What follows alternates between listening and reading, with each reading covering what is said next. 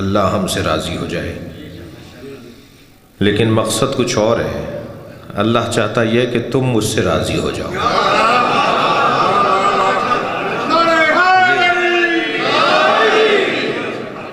लग अच्छा तो यही लगता है कि अल्लाह हमसे राज़ी हो जाए।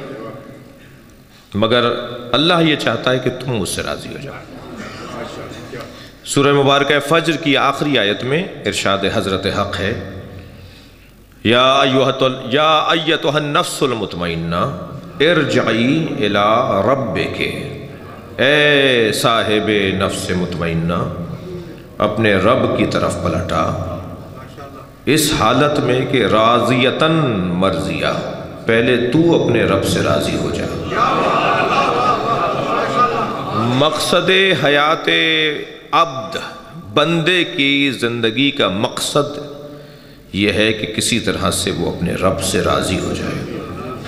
ये जो मैं आज तनख्वाह पर राज़ी नहीं हूँ, मैं आज जो पोस्टिंग पे राज़ी नहीं हूँ, ये जो मैं आज अपनी काश्त और अपनी फ़सल की कटने पे राज़ी नहीं हूँ, ये जो आज मैं अपनी ज़िंदगी से खुश नहीं हूँ, ये जो मैं आज अपने वालदेन से मुतमिन नहीं हूँ, ये जो आज मैं अपनी दुनिया में मुस्तरब हूँ, ये दर हकीकत में अल्लाह से राज़ी नहीं हूँ।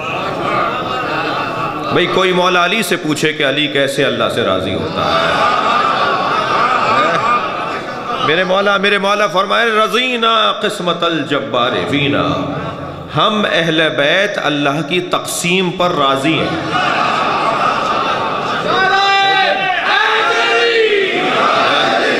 रदीना किस्मत जब्बार फीना लना इल्मुन वलिल आदाए मालून।